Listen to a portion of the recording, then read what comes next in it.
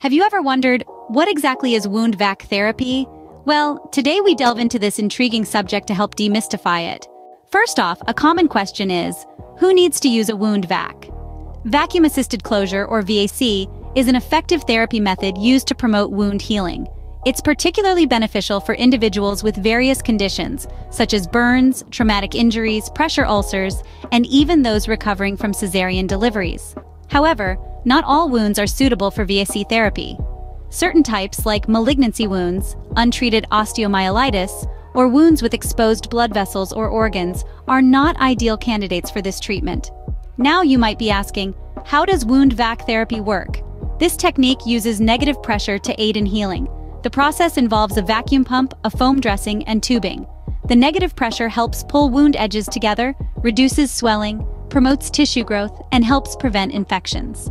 A common concern is, does using a wound vac cause pain? While some discomfort may be felt during the initial application, most patients report minimal pain during the therapy. It's important to communicate any discomfort to your healthcare provider to ensure proper management. The benefits of wound vac are numerous. It's a clinically proven method that accelerates wound healing, reduces the risk of infection, and promotes tissue growth. However, like any treatment, potential complications may arise. These can include sepsis, hemorrhage, infections, and macerated skin.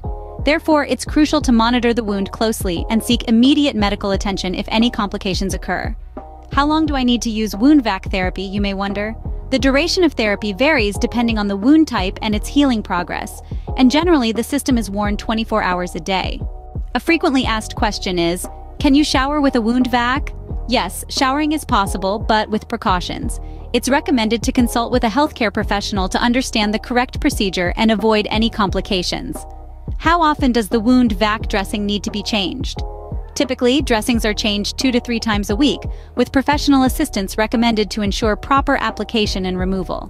Lastly, knowing when to discontinue wound vac use is essential. This typically happens when the wound has decreased significantly in size or when it has developed enough granulation tissue to proceed with other treatment methods.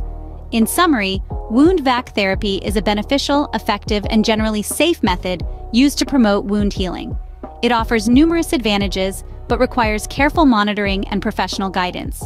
Remember, everyone's healing journey is unique, so it's vital to consult with your healthcare provider to determine the best treatment approach for you.